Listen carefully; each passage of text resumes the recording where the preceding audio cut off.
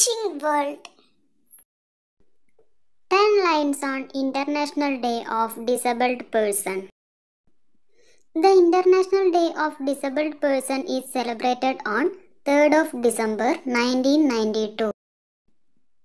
It was an action packed plan on several national and international levels. It emphasized on equal opportunities, rehabilitation, and reduced the number of disabilities. The disabled persons take a full part in the development of their societies. Enjoy equal living conditions just like the other people. They share similar improved conditions of livelihood due to improved socio-economic developments. There are various themes given every year. The theme of 2019 was Promotion and Participation of the Disabled Persons and Their Leadership on the Agenda of 2030 Development.